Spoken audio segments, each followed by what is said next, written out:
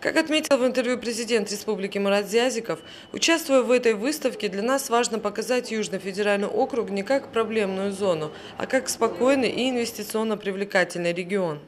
Для нас самое главное создать э, инвестиционную привлекательность. Для этого у нас создана база, имеется нормативная, юридическая база.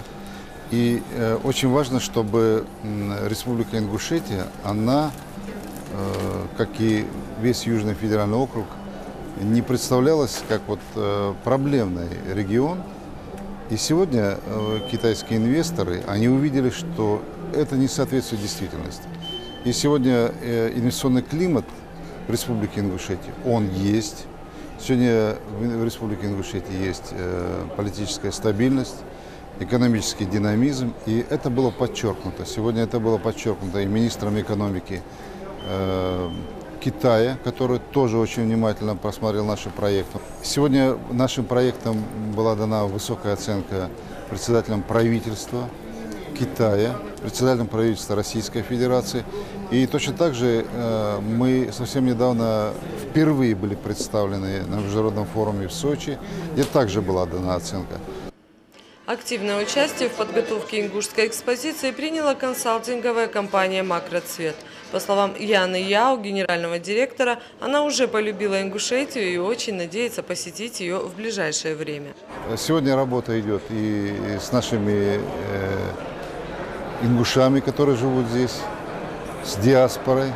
И это очень отрадно, потому что есть люди, которые работают очень долго, и их бизнес, он прозрачный, ясный. Мы их потенциал тоже задействуем. Эта работа у нас начата два года назад. И сегодня вот результат этой работы, это, конечно, э, те э, соглашения, которые мы уже подписали, и те соглашения, о которых мы уже как бы сказали, то есть обозначили их, есть уже намерение по принятию и подписанию этих соглашений.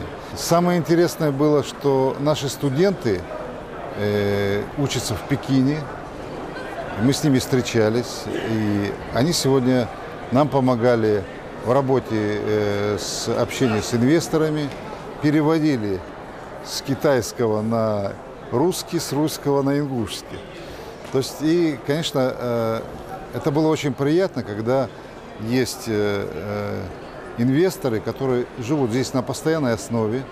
И я думаю, что они меня очень правильно поняли, что инвестиции надо вкладывать у себя на родине.